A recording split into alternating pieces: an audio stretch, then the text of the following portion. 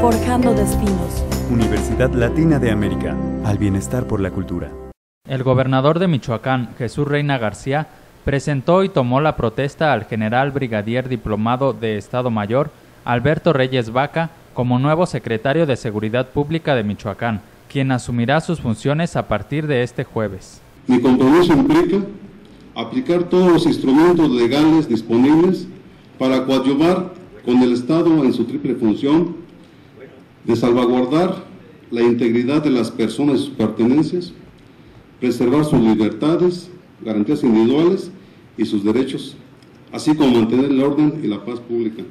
En el Salón Charo de Casa de Gobierno de Morelia, el gobernador del estado dijo que este nombramiento es para incrementar la coordinación con las fuerzas federales de seguridad para lanzar una nueva estrategia y resolver los problemas de inseguridad en Michoacán. Nosotros tenemos la seguridad de con su experiencia y la disposición habemos de tener avances importantes en la seguridad del Estado y en la tranquilidad de los ciudadanos.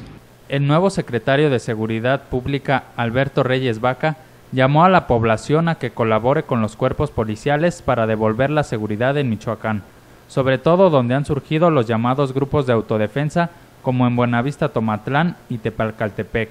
La seguridad ya no es un, asunto, un asunto de policías y delincuentes. Hoy la seguridad es integral porque comprende otros indicadores como la justicia, la educación, la igualdad social y el bienestar común.